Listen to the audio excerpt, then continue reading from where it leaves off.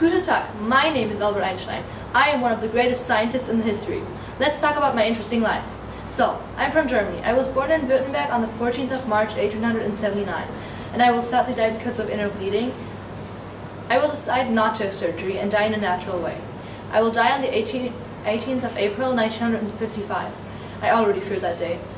I studied at the University of Zurich in 1905. I influenced some other amazing scientists like Ernst G. Straus, Nathan Rosen, and Leo Szilard. I have two children named Lisa and Elsa with my beautiful wife Mileva Marek. We studied together. My parents are called Hermann and P Pauline. I love them very much. Later in my life, I will decide to move to the United States. That's where I will die too. Also, I lived in Germany, Switzerland, Belgium, Italy, and Austria. But let's talk about my awesome discoveries. I developed the theory of relativity. I also invented the world's most famous equation, which is I will win the Nobel Prize in Physics in 1921 for my discovery of the law of photoelectric effect. Now, back to the theory of relativity. General relativity explains the law of gravitation and its relation to other forces of nature. Special relativity explains elementary particles and their interactions.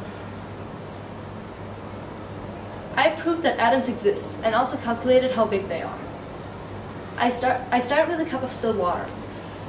I saw a random movement in the water and I found out that the things moving were tiny molecules. I watched pollen grain move around in the water and from that I could tell the size of molecules hitting the pollen.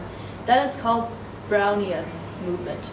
From that experiment, from that experiment, I could tell that atoms exist.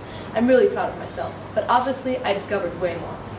But if I were, but, but if I were to tell you every single discovery, we would be here for hours. Now I want to tell you. Okay, that's enough about me. I gotta get back to work.